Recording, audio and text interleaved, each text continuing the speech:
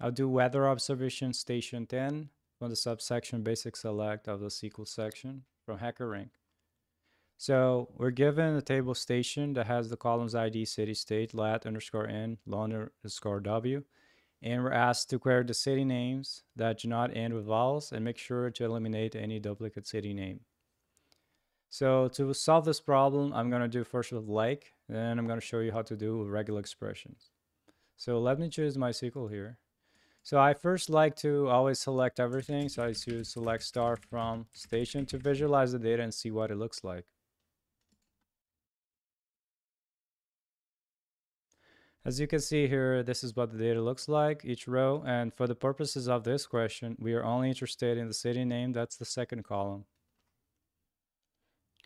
So how can we say do not end with vowel? Well, vowels are the characters A, E, I, O, or U.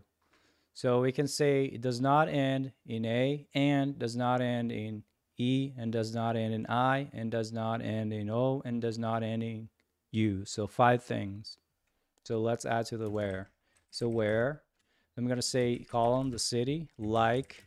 How can I say uh, do not end with A? Well, how can I say end with A? So I can say quotes, percent A. So it could be anything followed by A at the end. But this is to, to end in A. How can I say not end in A? I can say city not like so it means does not end in A. So I just copy the same pattern for every single vowel and combine them with and.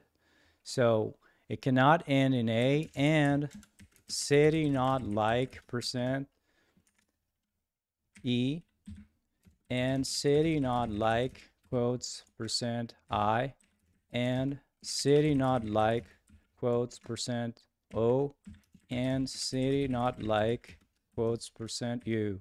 So we're going to query from station where the city does not end in A and does not end in E and does not end in I and does not end in O and does not end in U. So all of those. And because we're just interested in the city name, here instead of star, say city. And since they want us to eliminate any duplicate city names that might appear again in different rows, we say distinct before the city column here. Let's test it out. And there you go. Now I want to show you a shorter version using regex. So instead of typing every single thing like this, I can just say where city, R-E-G-E-X-P for a regular expression. And space quotes and you have to say the pattern. In this case that do not end in a vowel. There's two ways you can do this. I can use a not here so where city not so I can negate whatever this is. In this case it would have to be the pattern to end in a vowel. So when you say not it means it does not end in a vowel to do that I can say square brackets A E I O U that means a single character that could be either A or E or I or O or U and then if I want it at the end I have to say uh, dollar sign meaning end of the string. So this pattern would match any of these vowels at the end and because of the not it would say it would mean does not end. Let's test it out. And there you go. Now one more thing I want to show you how to do without the not.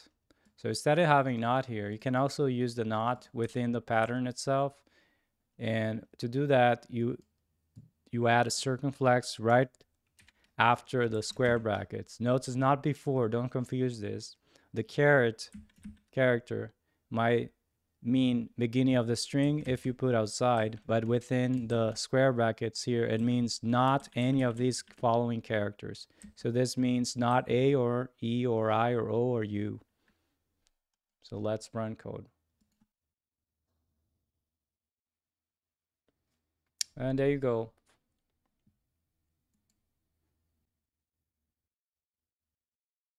And that was Weather Observation Station 10.